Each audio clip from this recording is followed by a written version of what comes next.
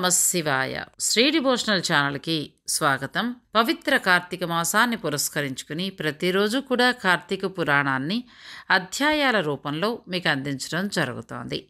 ఈరోజు కార్తీక పురాణం పన్నెండవ అధ్యాయం తెలుసుకుందాం.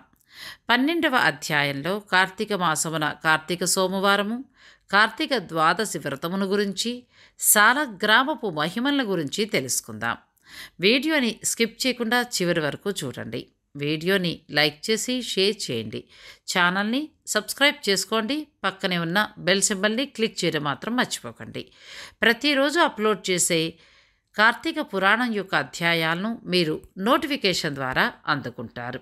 ఇక మనం పన్నెండవ అధ్యాయంలోని కథలోకి వెడదాం మహారాజా కార్తీక మాసమున కార్తీక సోమవారమున కార్తీక ద్వాదశి వ్రతమును గురించి సాలగ్రామపు మహిమల గురించి వివరించెదను వినుమని వశిష్ఠ మహాముని ఈ విధంగా తెలియచేశారు. కార్తీక సోమవారం నాడు ఉదయమునే లేచి కాలకృత్యములు తీర్చుకుని నదికి వెళ్ళి స్నానం చేసి ఆచమనము చేయవలెను. తర్వాత శక్తి కొలది బ్రాహ్మణుడికి దానమిచ్చి ఆ రోజంతయు కూడా ఉపవాసం ఉండి సాయంకాలం వేళల్లో శివాలయానికి కానీ విష్ణువాలయానికి కానీ వెళ్ళి దేవుణ్ణి పూజించి నక్షత్ర దర్శనం చేసుకుని ఆ తరువాత భుజించవలసి ఉంటుంది. ఈ విధంగా ఎవరైతే చేస్తారో వారికి సకల సంపదలు కలుగుటయే కాక మోక్షాన్ని కూడా పొందుతారు. కార్తీక మాసంలో శని త్రయోదశి వచ్చిన ఎడల ఈ వ్రతమును ఆచరించినచో నూరు రెట్లు ఫలితము కలుగుతుంది. కార్తీక శుద్ధ ఏకాదశి రోజున పూర్ణోపవాసం ఉండి ఆ రాత్రి విష్ణు ఆలయానికి వెళ్ళి శ్రీహరిని మనసారా ధ్యానించి శ్రీహరి సన్నిధిలో పురాణ కాలక్షేపము చేసి మర్నాడు బ్రాహ్మణ సమారాధన చేసిన కోటి యజ్ఞముల ఫలితం కలుగుతుంది.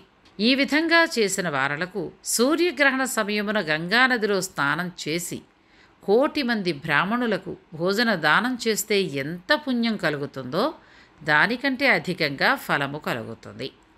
కార్తీక శుద్ధ ద్వాదశి నాడు శ్రీమన్నారాయణుడు శేషపానుపు నుండి లేచును కాబట్టి కార్తీక శుద్ధ ద్వాదశి వ్రతమును విష్ణువుకు ఇష్టముగా చెప్పబడుతోంది.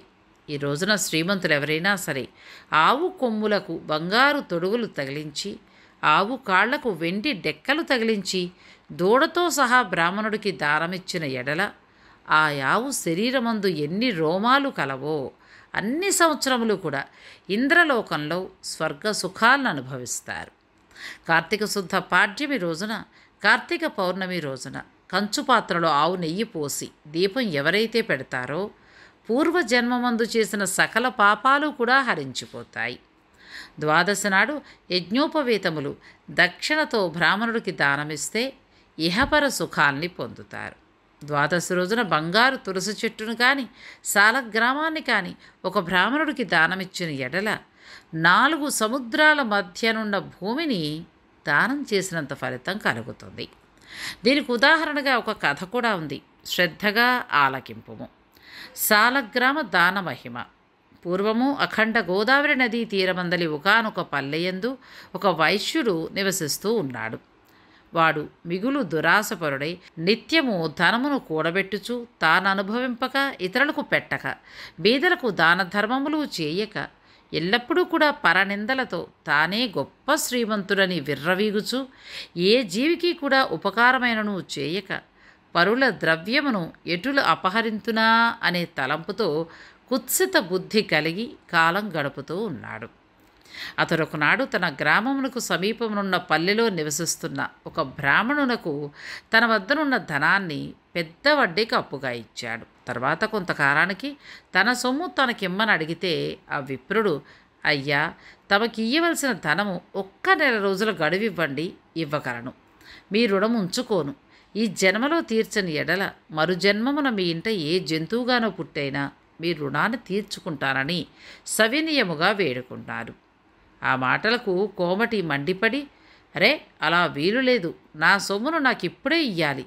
లేని ఎడల నీ కంఠమును నరికివేయుదునని ఆవేశం కొలది. వెనక ముందు ఆలోచించక తన మొలనున్న కత్తితో ఆ బ్రాహ్మణుడి కుత్తుకను కోశాడు వెంటనే ఆ బ్రాహ్మణుడు గిలగిలా తన్నుకొని చనిపోయాను. ఆ కోమటి భయపడి అక్కడే ఉంటే రాజభటులు వచ్చి పట్టుకుని తీసుకుపోతారని భయపడి తన గ్రామానికి పారిపోయాడు. బ్రాహ్మణ హత్య మహాపాపం కాబట్టి అప్పటి నుండి ఆ వైశ్యునికి బ్రహ్మహత్య మహాపాపం ఆవహించి కుష్ఠువ్యాధి కలిగి నానా బాధలు పడుతూ మరికొన్నాళ్ళకు మరణించాడు. వెంటనే యమదూతలొచ్చి అతన్ని తీసుకుపోయి రౌరవాది నరక కూపంలో పడతోశారు. ఆ వైశ్యునికి ఒక కుమారుడు కల్లడు. అతని పేరు ధర్మవీరుడు. ఆ పేరుకు తగినట్లుగానే తండ్రి సంపాదించిన ధనానంతటిని కూడా దాన ధర్మములు చేయుచు పుణ్యకార్యములు ఆచరించుచు నీడ కొరకై చెట్లు నాటిస్తూ నూతులు చెరువులు త్రవ్వించుచు సకల జనుల్ని సంతోషపెడుతూ మంచి కీర్తిని సంపాదించుకున్నాడు.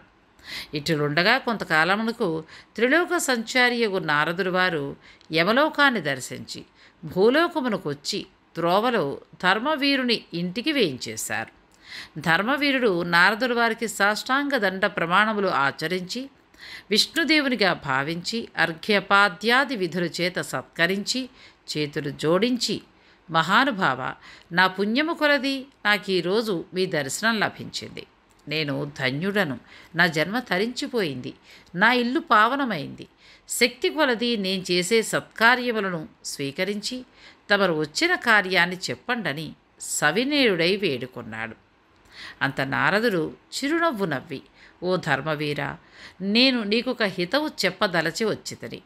శ్రీ మహావిష్ణువుకు కార్తీక మాసంలో శుద్ధ ద్వాదశి మహాప్రీతికరమైన రోజు.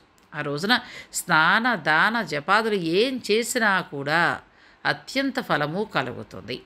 నాలుగు జాతులలో ఏ జాతివారైనా సరే స్త్రీ అయినా పురుషుడైనా జారుడైనా చోరుడైనా పతివ్రతమైన వ్యభిచారిణి అయినా సరే కార్తీక శుద్ధ ద్వాదశి రోజున సూర్యుడు తులారాశి ఎందు ఉండగా నిష్టగా ఉపవాసం ఉండి సాలగ్రామ దానములు చేసిన ఎడల ఓ ధర్మవీర మేడల వెనుకటి జన్మములయందును ఈ జన్మమందు చేసిన పాపములన్నీ కూడా పోతాయి.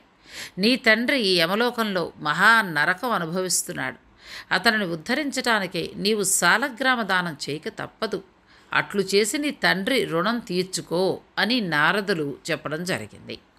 అంతట ధర్మవీరుడు నారద మునివర్య నేను గోదానము భూదానము హిరణ్యదానము వంటి ఎన్నో మహాదానాలు చేసి ఉన్నాను. అటువంటి దానములు చేయగా నా తండ్రికి మోక్షం కలగనప్పుడు సాలగ్రామం అనే జాతిని దానం చేసినంత మాత్రాన ఆయన ఎట్లు ఉద్ధరింపబడతాడనే సంశయము కలుగుతోంది. దీనివలన ఆకలి కొన్నవాని ఆకలి తీరునా? దాహం కొన్నవానికి దాహం తీరుతుందా? కాక ఎందులకీ దానం చేయవలను? నేను ఈ సాలగ్రామ దానం మాత్రం చేయను అని నిష్కర్షగా పలికాను. ధర్మవీరుని అవివేకమునకు విచారించి వైశ్యుడ సాలగ్రామమును శిలామాత్రంగా ఆలోచించావు. అది శిల కాదు శ్రీహరి యొక్క రూపం. అన్ని దానాల కంటే సాలగ్రామ దానం చేస్తే కలిగే ఫలమే గొప్పది. నీ తండ్రిని నరక బాధ నుండి విముక్తి చేయాలని ఆలోచించి ఈ దానం విషయం చెప్పాను. ఈ దానం తప్ప మరొక మార్గం లేదు అని చెప్పి నారదుడు వెళ్ళిపోయాడు. ధర్మవీరుడేమో ధనబలం కలవాడై ఉండి దాన సామర్థ్యం కలిగి ఉండి కూడా సాలగ్రామ దానం చేయలేదు. కొంతకాలానికి అతడు చనిపోయాడు. నారదుడు చెప్పిన హితబోధను పెడచెవిరి పెట్టుడు చేత మరణానంతర ఏడు జన్మలయందు పులి అయి పుట్టి మరి మూడు జన్మలయందు వానరమై పుట్టి ఐదు జన్మలు ఎద్దుగా పుట్టి పది జన్మలు మానవ స్త్రీగా పుట్టి మరొక పది జన్మలు పందిగా జన్మించున్నాడు. అట్లు జరిగిన తర్వాత పదకొండవ జన్మలో ఒక పేద బ్రాహ్మణుని ఇంట స్త్రీగా పుట్టిన ఆమెకు యవ్వన కాలం రాగా ఆ పేద బ్రాహ్మణుడు ఒక విద్వాంసునికి ఇచ్చి పెళ్ళి చేశాడు. పెళ్ళైన కొంతకాలానికి ఆమె భర్త చనిపోయాడు. చిన్నతనమందునే ఆమెకు అష్టకష్టములు సంభవించినందుకు తల్లిదండ్రులు బంధుమిత్రులు చాలా దుఃఖించారు. తండ్రి ఈమెకు ఈ విపత్తు ఎందువలన కలిగింది అని దివ్య దృష్టితో గ్రహించి వెంటనే ఆమె చేత సాలగ్రామ దానం చేయించి నాకు బాల వైద్యమీయనుకు కారణమైన పూర్వజన్మ పాపము నశించుగాక అని చెప్పించి సాలగ్రామ దాన ఫలాన్ని తారపోయించారు. ఆ రోజు కార్తీక సోమవారం ఆ సాలగ్రామ దాన ఫలంతో ఆమె భర్త జీవించాడు. పిదప ఆ నూతన దంపతులు చిరకాలము కూడా సకల సౌఖ్యాలతో జీవించి జన్మాంతరమున స్వర్గానికి వెళ్ళారు. మరికొంతకాలానికి ఆ బ్రాహ్మణ పుత్రిక మరొక బ్రాహ్మణుడి ఇంట కుమారుడుగా పుట్టి నిత్యము సాలగ్రామ దానం చేస్తూ ముక్తిని పొందారు. కావున ఓ జనక కార్తీక శుద్ధ ద్వాదశి రోజున సాలగ్రామ దానం ఎవరైతే చేస్తారో దాన ఫలము ఇంతెంత కాదు ఎంతో ఘనమైనది. కావున నీవును ఈ సాలగ్రామ దానాన్ని చెయ్యు ఇట్లు స్కాంద పురాణాంతర్గత వశిష్ఠ ప్రోక్త కార్తీక మహత్యమందలి పన్నెండో రోజు పారాయణం సమాప్తం. ఈ వీడియో కనుక మీకు నచ్చినట్టయితే లైక్ చేసి షేర్ చేయండి. ఛానల్ని కూడా సబ్స్క్రైబ్ చేసుకోండి. పక్కనే ఉన్న బెల్ సింబల్ని క్లిక్ చేయడం మాత్రం మర్చిపోకండి. నమస్తే.